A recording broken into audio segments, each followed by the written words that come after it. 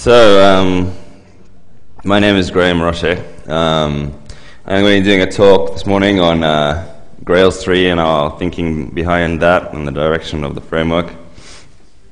Uh, we'll do a review of what's new in uh, Grails 2.4, which uh, came out a couple of weeks ago and which we're equally excited about, um, and uh, open it up for any questions or you know feedback.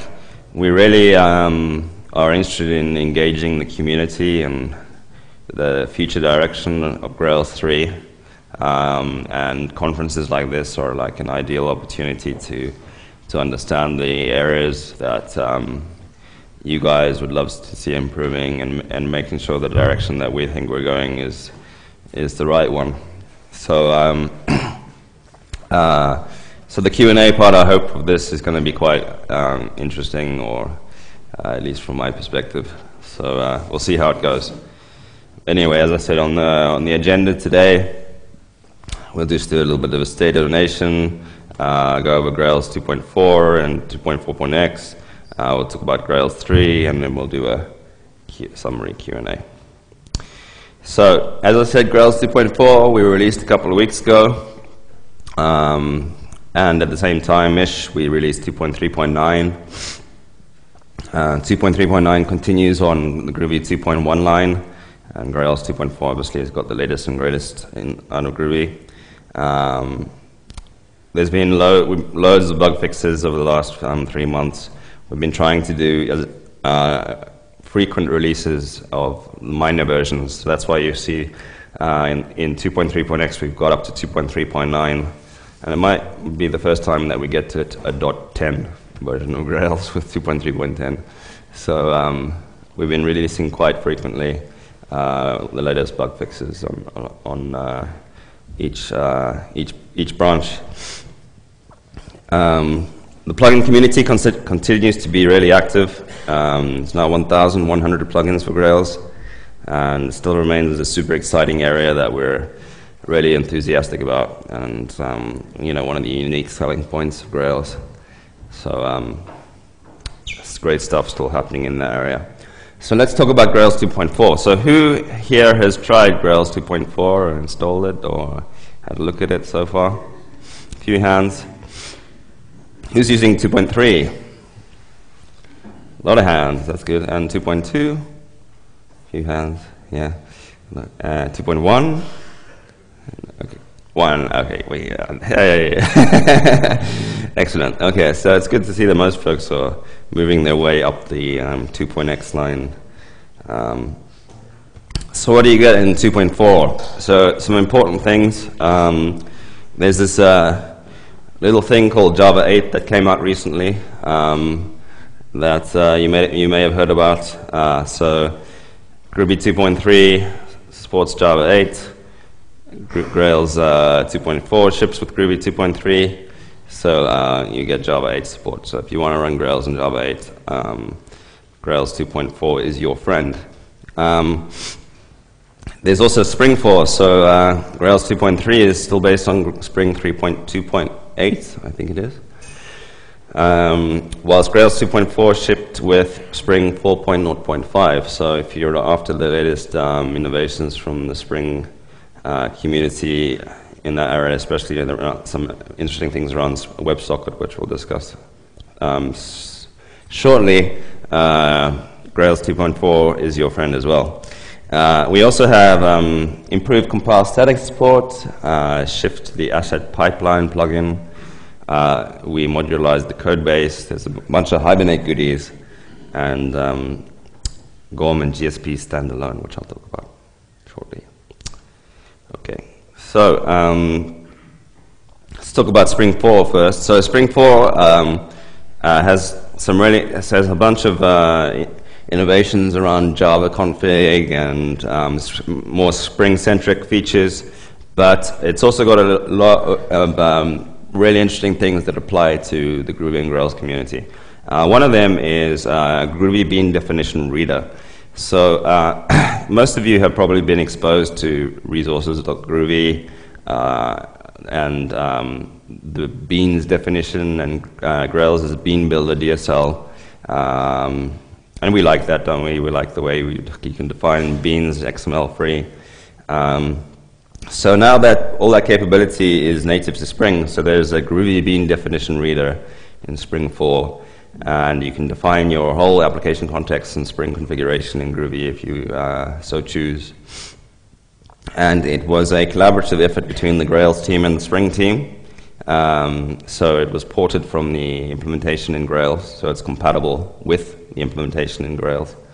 And um, uh, it, it, provides another option um, for those looking to stay away from XML when using Spring.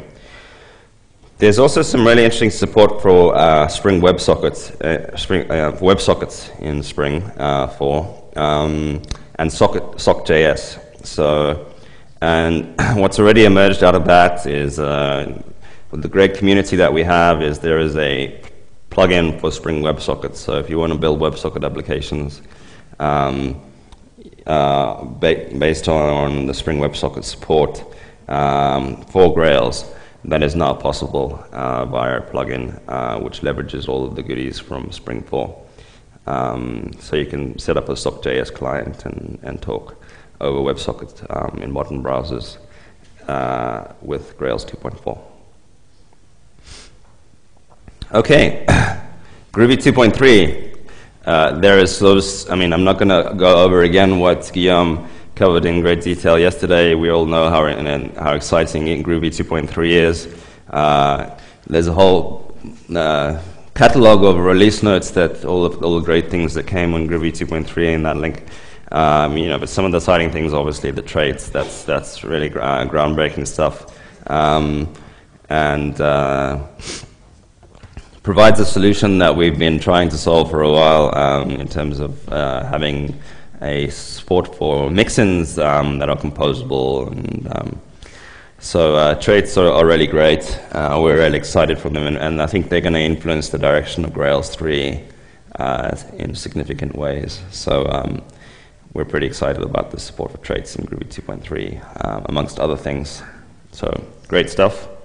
Uh, Groovy 2.3, um, 3.3.1 ships with Grails 2.4, and uh, we'll be shipping Grails 2.4.1 with Groovy 2.3.2 uh, very shortly. Um, so stay tuned in that area. So some other notable updates to the various jar dependencies or you know the dependencies of Grails. Obviously, as I said, there's the Java 8 support. So if you want to run uh, Grails on the latest uh, JDK from Oracle, Java 8, um, you can do that now. But uh, Hibernate 4.3.5 is now the default version of Hibernate when you create new new applications in um, in Grails. Uh, I think it's time we moved on from Hibernate 3, finally. So um, uh, yeah, uh, Hibernate 4.3.5 is now your friend. Uh, we also upgraded to AspectJ 1.8, so if you're, if you're using AspectJ, any kind of point cut definitions, in your Grails application, that was important because it supports Java 8. Um, uh, we removed the dependency resolution from uh, Sonatype. Um, Aether is, a, is the dependency resolution engine from Maven, and in Grails, um, think it was 2.3, we moved to, to Aether as the default dependency uh, resolver. Uh, but we used uh, Sonatype's uh, Aether implementation, which was later contributed to Eclipse. So now it's a separate, independent, not related to Sonatype, Eclipse project maintained uh, under the Eclipse umbrella. Um, so we moved from Sonatype's pack Aether to Eclipse Aether. It's the same project, but um, just cleaned up and made uh, Eclipse compatible. Um, and obviously the latest version is 0.9.2, whilst in, um, in Grails 2.3 we were shipping an earlier version. We also have fewer overall dependencies. So if you are upgrading from 2.4, this is an area you may need to look at. Um, uh, Grails has less, fewer dependencies on external libraries than it did before. So the, notably, the various commons hyphen star libraries are no longer direct dependencies. So if you're upgrading, you may need to declare, and you are using those libraries, you may need to declare a dependency on them. Um, we've been trimming and making trimming Grails down and reducing external dependencies. Um, so on that front, that's heavily related to the modularization effort. Um, so part, part of Grails, um, the work in Grails 2.4, which is kind of, we've been preparing the groundwork for Grails 3, was modularization. So in Grails 2.3, um, in Grails 2.3, there was one big jar called Grails Web, and it had like pretty much everything in it um, that made um, that made the web part of Grails work from GSP to the controller layer to everything. So we've been splitting that out, um, and uh, it's now six or seven submodules, um, nicely partitioned. Uh, Grails core as well, we split out validation, we split out um, what we call the project API, which is more com command line specific stuff, and that shouldn't really have been there in the first place. The encoding stuff we split out of Grails core. So we've been splitting and modularizing Grails and separating and uh, really refining it, uh, reducing external dependencies, making it a lot easier um, to manage, uh, refactoring. There's been a lot of uh, underlying improvements in Grails 2.4 that, um, that uh, long term uh, we will all benefit from. Okay, so uh, asset pipeline. So um, in Grails 2.3 and below, we, uh, we, the resources plugin was used for um, for asset management, static, static assets, and so on. And although um, it was a, um, a, good solution for her time, there was various problems with it. The module definitions, the fact that there were separate Groovy files, the fact that it was something that uh, got involved at runtime rather than being a build time uh, thing. And a whole bunch of uh, reasons that you know are detailed in more depth on the wiki page there. But basically, um, the asset pipeline plugin uh, we feel is a superior solution to resources, and uh, this is acknowledgement of that and moving to it as the default um, plugin for managing static assets. There's full documentation at that link over there. Um, we have to extend our thanks to David Estes and uh, the, his, his team at uh, Bertram Capital, who have uh, worked tirelessly on making sure that the pipeline plugin was ready for Grails 2.4. Um, it was a real collaborative effort, and uh, we, we appreciate his work in this area. Um, but all the feedback we have has been uh, great regarding the plugin. So uh, folks are really happy with it, and the way the fact that it works really well with uh, things like CoffeeScript and Less and so on, and um, it's been a, an important factor. In, in shifting to it. So we're excited about that. Um, and, uh, and we encourage people to, if you are using resources, to consider having a look at um, Asset Pipeline. Okay, so standalone. Um, part of all that modularization effort that we went through uh, a lot, uh, uh, some of the motivation from that was to make sure that um, pieces of Grails could be used outside of Grails, and that uh, we can start to see the fruition of that. So um, there is now it is now possible to use Gorm for Hibernate for um, outside of Grails. So in the article linked here from here, you can see that. Um, uh, this is a, a, an example using using Spring Boot, so I don't know if I can click that properly. Um, we encourage you to go and check out these guides. Oh, no internet, but anyway. Uh, the link's there, I'll post my presentation later. Um, there's guides on how to get Gorm for Hibernate 4 and Gorm for MongoDB up, up and running in a Spring Boot application. Note that um, the, it's not just Spring Boot. You can even boot spin up Gorm inside a Groovy script that's completely independent of Grails. You can spin up Gorm for Hibernate 4 or MongoDB in just a Groovy script. So we've designed it in a way that um, it's possible to use Gorm completely independently of Grails, uh, which I think is pretty exciting. exciting and a, feature that a lot of people have been asking for a, for for a long time, um, and I think a lot of people will enjoy that. Another thing is GSP. So currently we have an, uh, an RC uh, level uh, Spring Boot extension, so you can you can essentially use GSP uh, in a Spring Boot application as well.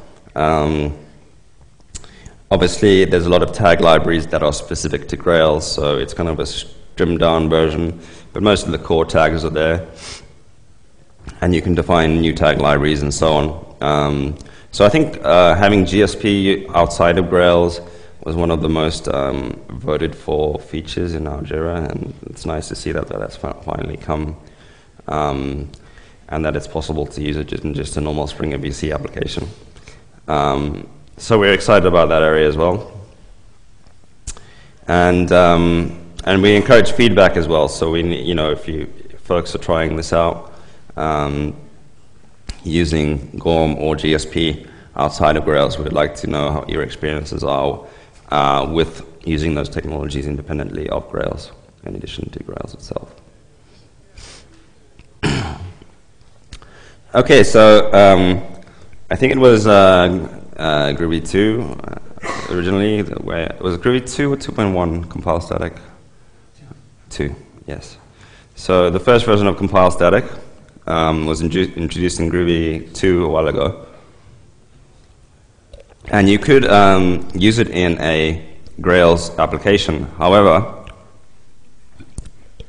there were various um, things you have to be aware of. For example, um, if you put compile static on your Grails code, whether it be a service, a service, or a controller, or something, or whatever it may be, if you then used any dynamic part of Grails, so you wanted to call a dynamic finder, for example, on a, on a, on a GORM domain class, you wanted to say book find by title.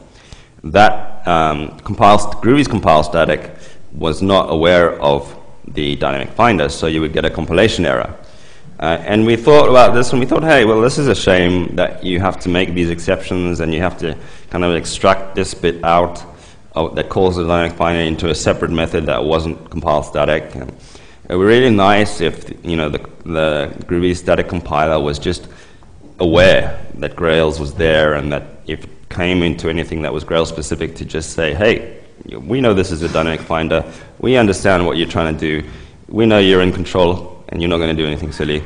So, um, so um, just let it happen. And that's what Grails compile static is, basically. It, Groovy, Groovy's um, static compilation has the ability to extend it by type checking extensions. And we have leveraged those in, um, in Grails so that there's now a Grails compile static. And essentially, the Grails compile static version is um, Grails aware. So what that means is you can put it on a controller uh, or a service or whatever. And when you interact with the Grails framework, whether it be via GORM, dynamic finders, criteria, where queries, um, you won't get compilation errors in those areas. Um, it will allow those things while the rest of your code will be statically compiled, optimized, dispatched, and so on. So um, also, this is also an area that we've not had much feedback on.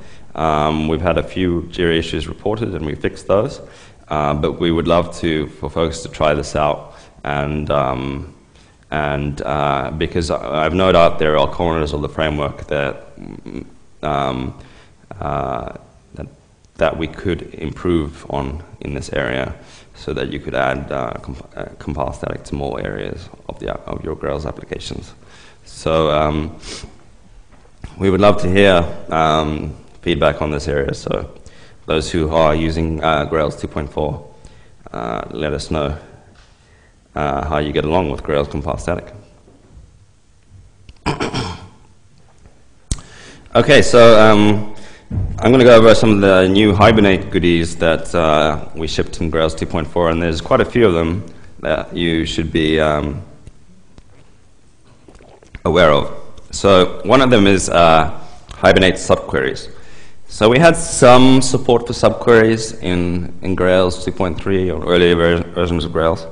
Um, and notice, notice that because Hibernate is now a separate plugin, you can get these features in Grails 2.3 apps as well. Because we pulled Hibernate out as a plugin. All these features, you just add the latest version of the Hibernate plugin and you get all these features in 2.3 as well, or earlier. So, um, uh, but anyway, there's a number of new features in the latest version of Gorm for Hibernate that um, I think are, are, are worth mentioning. Uh, so one of them is, is subqueries. Uh, so now we support um, in and not in subqueries that span domain classes. So, for example, I can create a where query that says I want to find all my employees uh, that are in the APAC and EMEA region. Yeah, so that's an independent where query. Notice when I, uh, you're probably already aware of this, but where queries, they don't actually execute the query. They're just like a query definition. So that's it's called a detached criteria instance. So I've got well, that, that employee's variable is a, is a detached criteria instance. And then I can create a separate where query uh, down here, this, this on a sale domain class, that references that employee's detached criteria. So I'm saying sale where employee in employees, so in another query. So I'm doing a subquery um, to, to find all the employees within the APAC and EMEA region and their salaries are greater than 50,000. Um, uh, the sale is greater than 50,000, sorry. Uh, and then we can execute that query. So you can see we got two different queries referencing each other to form a, a subquery. Uh, and, and, there is in, uh, so employee in employees, and there's also not in, um, uh, which you, you just essentially negate the expression. Uh, so if I put a negate, it becomes a not in query. So, um, so when I say negate the expression, you put it in parentheses with a uh, exclamation mark at the front. Okay, so um, you can also do correlated subqueries. So you'll notice that in this first query, uh, the the um, inner query, which is employees, is not referencing the outer query, which is on sale. Yeah? So correlated subqueries are where the inner query references the outer query. So in this example, um, I'm incre- I have been good to have a pointer actually, but anyway, I should have brought one. So um, in, uh, in this query, I'm, I'm creating a, an alias called em1 in the second line there. And essentially, that, that's referencing the outer query. And then I'm using an exist, so I'm saying where, um, uh, and then on the, I'm defining a second uh, uh, um, alias, def em2 equals employee, which references the employee association of sale. And I'm able to, I'm able to compare, uh, to correlate the two queries uh, by referencing the outer query. Thank you. I should have brought my own. You just press the button.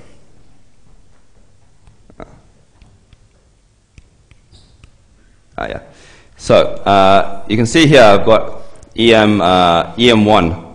This is a reference to the outer query, yeah? And we're using some AST transformation magic, which is, which is what where a query is all about, to basically say that this is a reference to my outer query, just by defining a variable, yeah?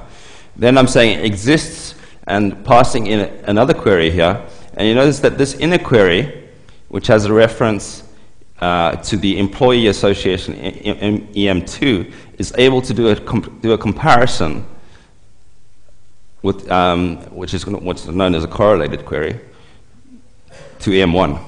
Yeah? So previously, to accomplish these types of queries with Grails, you would have to use some HQL or uh, criteria syntax, uh, raw Hibernate criteria syntax, very verbose.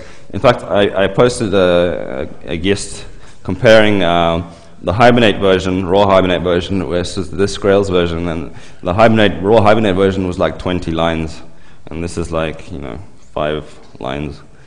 Uh, not a very much code. So Hibernate correlated subqueries. pretty, uh, pretty neat stuff. So anyway, whenever you need to create an alias, you just need to know that uh, you, you just call def em1, and when you, what you def can either be the class, and that represents the, the, the current query, or an association of the class. So def em2 equals employee, which is an association of sale.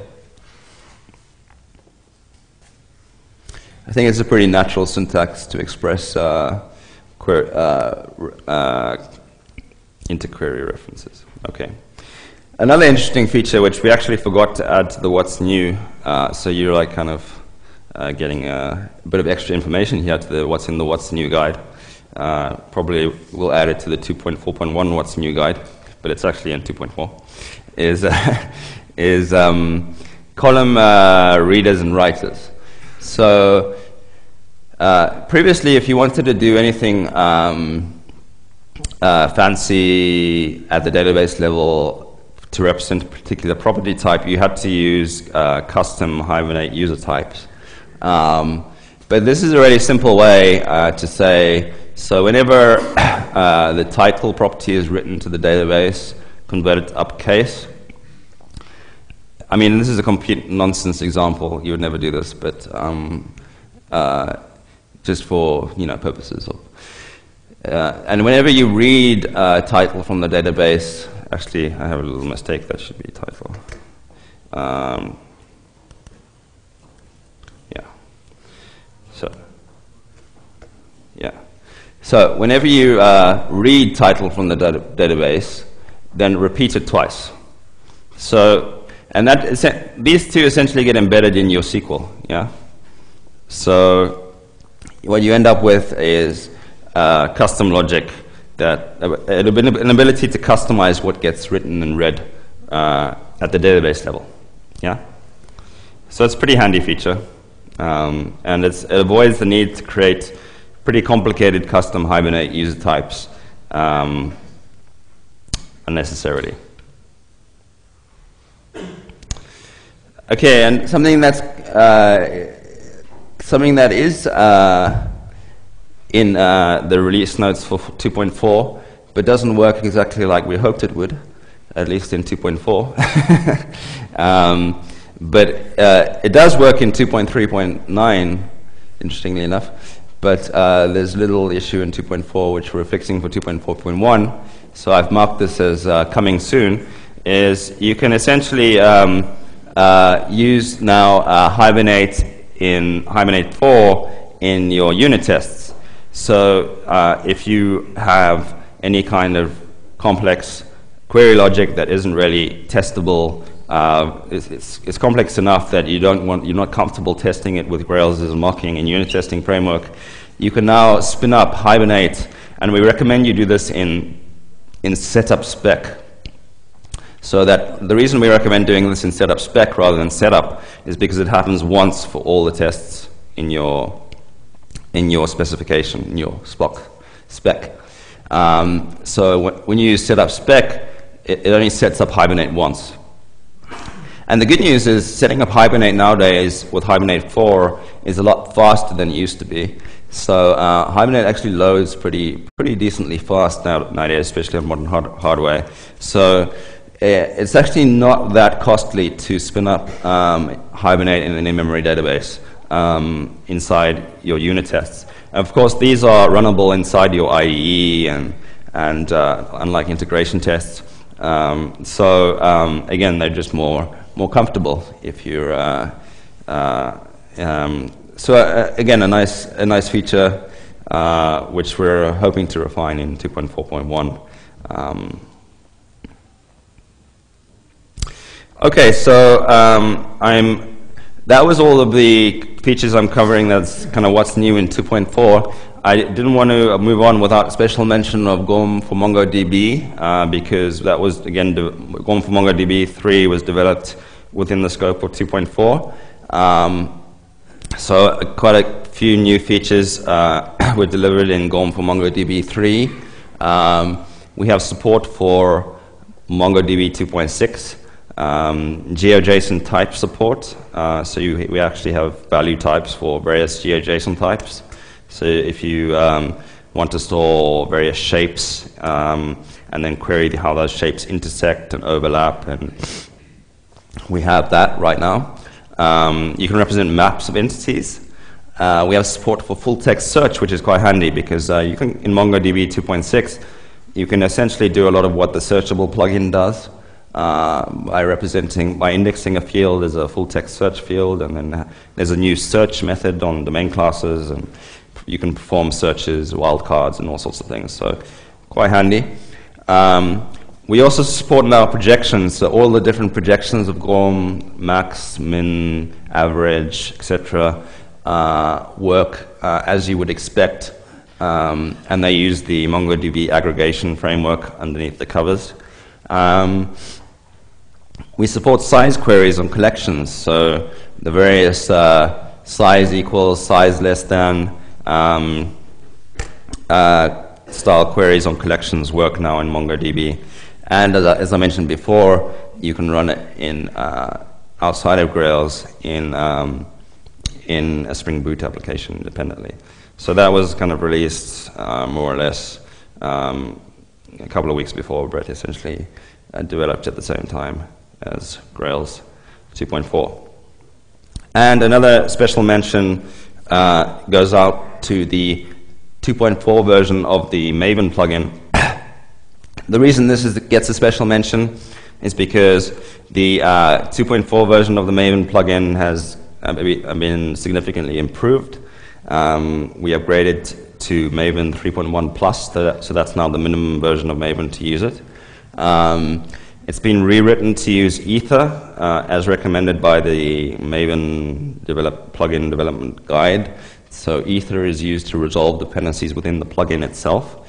Um, and, uh, and the good news as well is that you can now use it with different versions of, of Grails. So we don't anticipate from now going forward that there will be a new Maven plugin for each Grails release. Uh, they will now separate their. It used to be that every time Grails was released, you get a new Maven plugin. Now we anticipate that, that will, that's not going to happen going forward. Uh, 2.4, I don't think will be at the last release of the Maven plugin, but um, it's not going to be that there's going to be a new Maven plugin each time a new version of Grails comes out. The reason being is that you can actually use the new Maven plugin to build any version of Grails. Uh, so I can actually say in my, in my POM that my app is a 2.3.8 app, even though I'm using the 2.4 Maven plugin and uh, it will build the 2.3.8 um, app in Maven. So if you're a Maven user, and uh, we still have a few of those holding on, on uh, then uh, you'll appreciate the new Maven plugin. Okay. So, uh, some things that we are uh, still working on and anticipate uh, releasing over the next uh, couple of months. Um, that uh, around 2.4, so 2.4.1 uh, we anticipate will be out very soon, if not next week, then shortly after, thereafter. thereafter. Um, there's also the Spring Security Core plugin, uh, which we are is at the RC stage. Uh, there's a few open blockers, and we're hoping to work through those and release a 2.0 uh, GA version of Spring Security Core uh, very soon.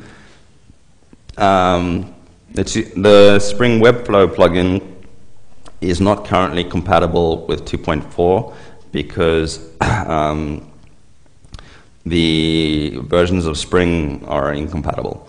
So uh, with the current release, so we'll be releasing an update that just updates the Webflow plugin to the latest version of Spring Webflow and aligns it with Spring 4. Um, and that will be coming very shortly. And uh, you know, we, we plan to carry on iterating with bug fixes like we have been. So there'll be a 2.4.1, a 2.4.2, a 2.4.3, uh, based on feedback from the community. So uh, we look forward to that feedback.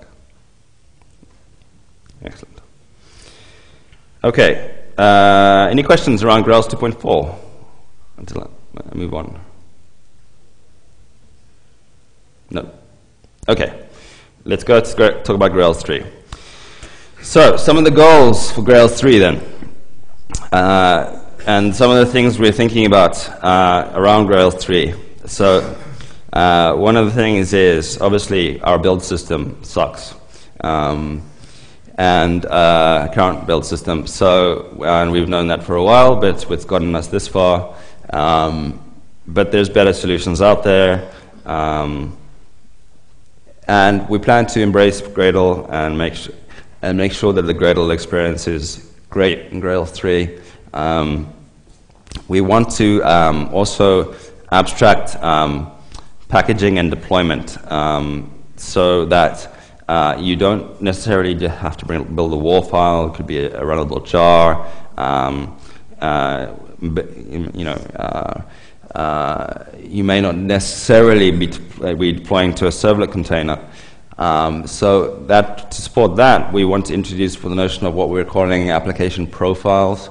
So these are we want to be extensible. So we imagine that we will uh, we'll release Grails 3 with one or two profiles, but that, but that, that as the life cycle of Grails 3 continues, we'll get um, more and more profiles um, uh, for Grails apps that allow it to run in different environments, whether it be uh, Netty or or, or ser- normal servlet environment, or Batch, or Hadoop Yarn, or um, there's a whole bunch of different uh, deployment targets that we are considering.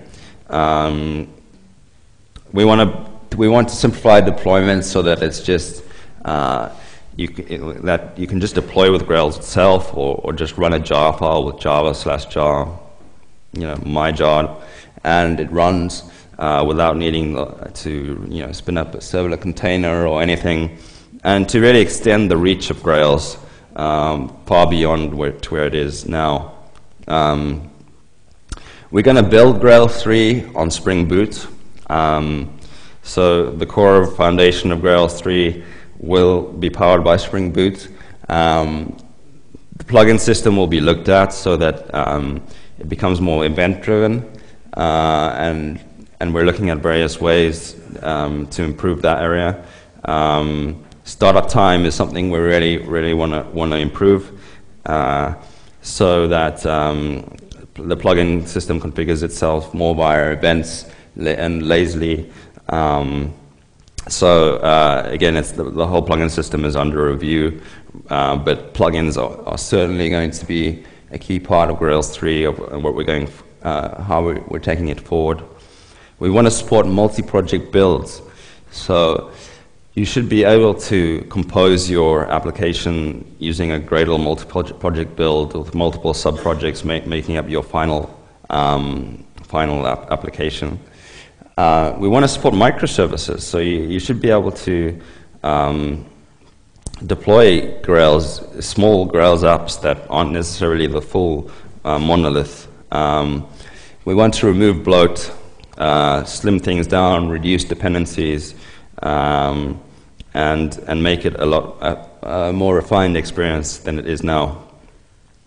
Um, so the, one of the things that we want, we're going to have to do to achieve that is to, uh, is to delineate the plugin system. So currently, when you think of a Grails plugin, it essentially spans, a single Grails plugin expands the, these three areas, code gen, build time, and runtime.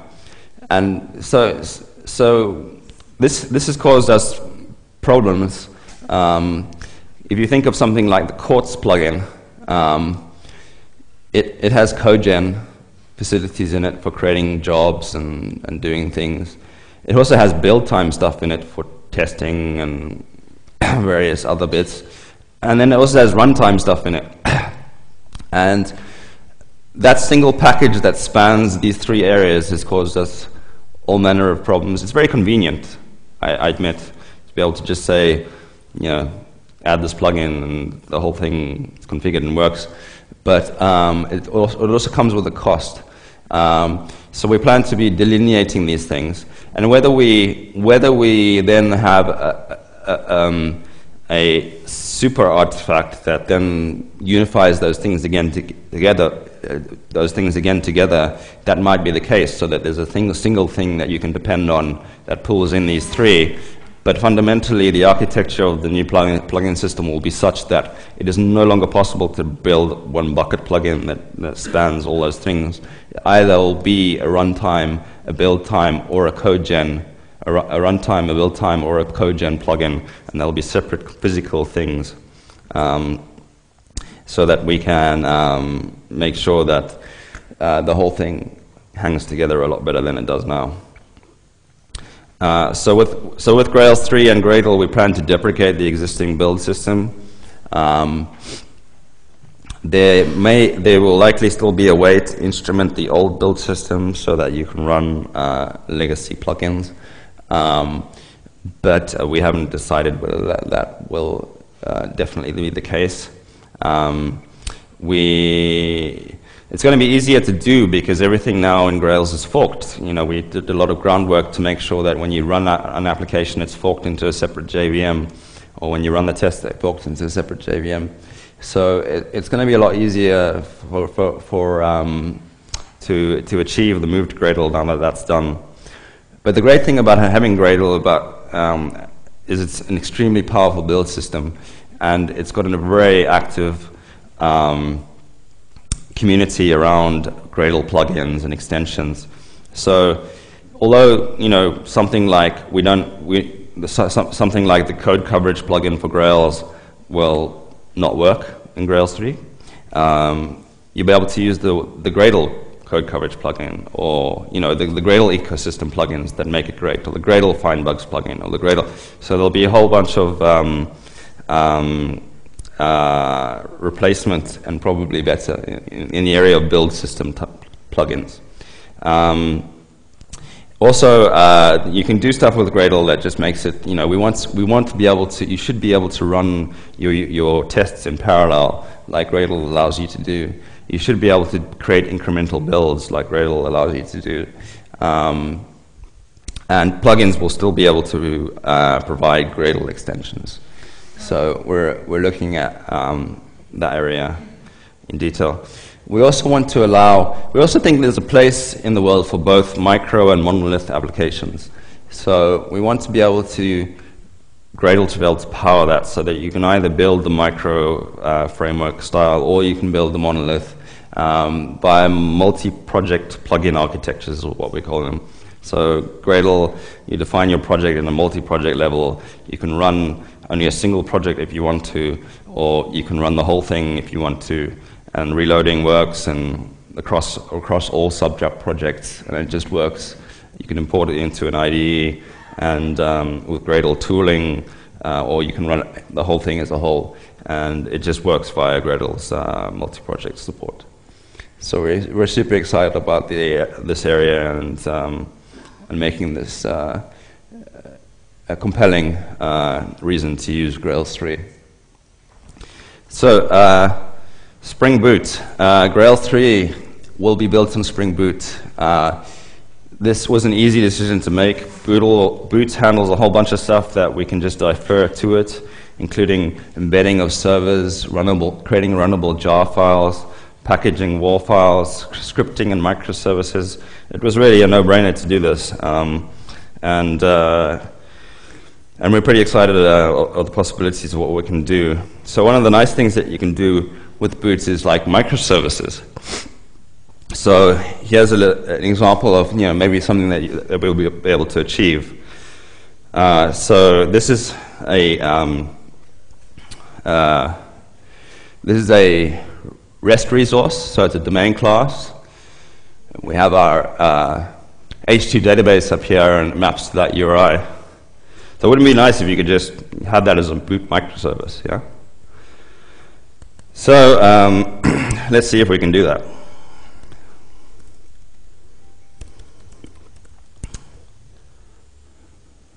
There it is.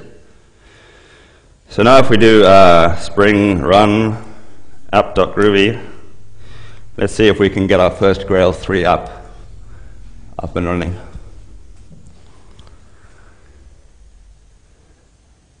Okay, so as you can see, powered by Spring Boot. Um, as I said, one of the areas we really want to optimize is startup time. But um, we have our Grails up and running, Grails up, starting up. And what we can do now is if we can go to another window, just hit our URI. There it is. And then, so we have a Grails app up and running. So in essentially uh, eight lines of code, we have a microservice, yeah?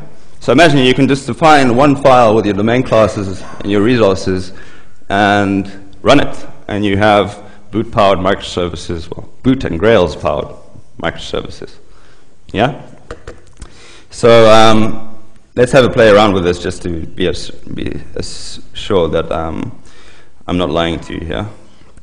Um, so I'm going to send a post request uh, with, uh, with a header that says content type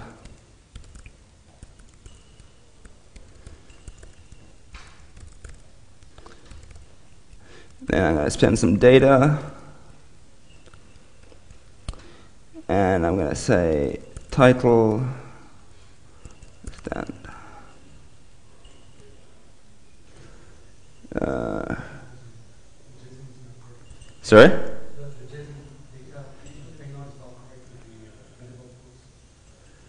My JSON is wrong.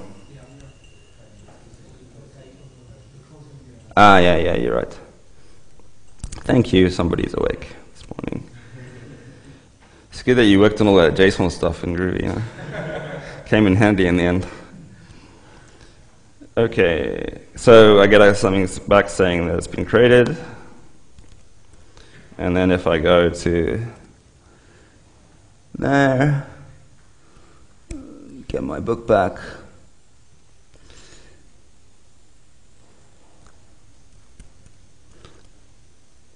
Uh, not found. Uh, probably because I need um, to send a accept.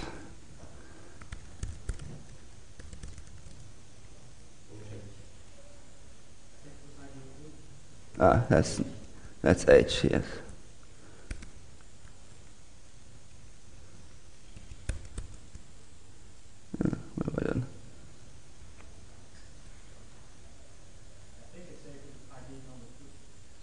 Oh, was it number two? Probably. Okay. Yeah. Okay. So um, there you go. So essentially, we have a, a, working RESTful web service in essentially an eight-line Groovy script. Yeah. So obviously, you know, this is a kind of proof of concept uh, idea of where we're going with what you could be able to achieve in Grails 3 with Spring Boot. But it's pretty cool that we be able to do things like we want to be able to, to achieve so that you can, you can if you want to spin up a little microservice in eight, eight lines of Groovy, uh, you can do that with Grails 3. Or if you want to have a multi-project Gradle build with a really complex application, uh, you know, we want to solve a range of different cases. And I I, we strongly believe that with the combination of Gradle, Spring Boot, and Grails, we'll be able to build compelling solutions. Okay, so um, so let's talk a bit, bit about uh, Grails application profiles. So each each profile, uh, we imagine having like distinct uh, distinct plugins, runtimes, and packaging. So when you create a new Grails application, you, you would feed it a profile, and there would be a default profile, and the package command will behave differently. It'll create a, create a runnable jar instead, or if it was a yarn app, um, you know, for Hadoop, or if, you know, depending what you what profile you used, um, you would create a different kind of application. Uh, so packaging would be abstracted. Um, the profiles themselves would be exposed uh, to plugins. Their structure via an API. So a plugin will be able to introspect a profile and, and figure out, you know, where shall I put controllers if I create them? Uh, is, is it even allowed to create controllers? Um, so plugins will be able to support different kinds of profiles, multiple profiles or single profiles. Um, you'll have profile-specific commands Um, so run package test will be specific to a particular application profile. You'll have profile specific plugins and profile specific, specific project templates. So if you create a new project, you get a specific type of project structure, but also when you, when you create a new controller or a new service, those templates for the individual files might be, would be different across, could potentially be different across each profile. And we anticipate there being both community maintained profiles, kind of like plugins, but also the core profiles that we ship with. Uh, we don't anticipate being able to maintain every single different kind of profile that, that, that there could be, but uh, but you know, if somebody comes along and says, "Hey, we want to be able to create a profile that lets you develop, uh, I don't know, Vert.x or you know something, or applications with Gorm or whatever. You know that that that seems like something we we would like to encourage. There's also a lot of stuff that's going to be for the chopping block. So there'll be no Servlet 2.5 support. Um, Web, Web, WebXML is going away everything will be done by a pro programmatic Servlet 3 um, configuration. Gant in the current build system is going. Uh, GDoc will be replaced by Asciidoctor. Integration tests uh, with, with, um, with things like the Hibernate test mixin and the stuff that we can do around the new test runtime stuff in Grails 2.4, uh, we feel that we can do everything that we need to do just in, within normal Spock specifications and unit tests that are runnable from your IDE, and thus reducing the reliance on the Grails command line to run all kinds of tests. Certain types of plugins like converters and codecs and so on, we feel uh, can be replaced by Groovy extensions instead of meta programming that we do, we do now. And filters will repl be replaced by a new mechanism that is easier to test. Um, and easier to compile static as well. Okay, so um, so what challenges do we face? Compatibility. Um, there is going to be uh, it's going to be a challenge to support our existing 1,100 plugin ecosystem. Um, but we want to make sure that it, although um, the Grails 3 provide is a completely new framework in terms of the design that that it's easy to migrate existing plugins to Grails 3. So we don't anticipate enforcing a whole lot of changes, particularly with plugins that do stuff purely at runtime. Um, so things like the Quartz plugin and uh, a lot of the plugins should just work, um, although um, probably in binary format. So um, uh, so there, there, there is going to be, it's not going to be the case that you'll be able to drop any 2.x plugin into a Grails 3 app and it'll just work. But the path in order to upgrade a plugin and make it Grails 3 compatible will not be a big jump, we don't anticipate. Um, there's also a whole bunch of modularization work that still needs to happen, so a lot of, uh, um, uh, we plan to rename all the packages, so org.codehaus will go away and become org.grails. Um, we plan to introduce abstractions over the servlet API. There's going to be a lot of refactoring. Um, so yeah, uh, there's a lot of serious challenges in front of us that uh, that uh, that we face, but we we are hoping that it, the community evolves with us with us, and uh, we think that uh, we're going to get folks excited enough about Grails 3 that the plugin community will involve, evolve with us. So, that is my talk. Uh, we got time, a little bit, I think, for questions. Any questions? Grails 3? Yep, at the front.